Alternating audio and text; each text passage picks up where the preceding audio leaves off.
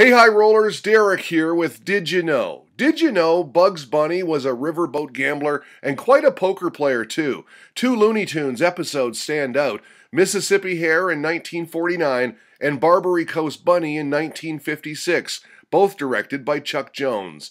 In Mississippi Hare, Bugs finds himself alone at the poker table with a Yosemite Sam esque character named Colonel Shuffle. Starting at $100 stakes, it didn't take long before Bugs had all the money when he tops the cheating shuffles hand of five aces with his own six aces. In Barbary Coast Bunny, the villain is Nasty Canasta, who steals a large slab of gold from Bugs, and of course, our good bunny vows retaliation. Six months later, Canasta has opened a new casino in San Francisco, a crooked gambling house built on ill gotten gains.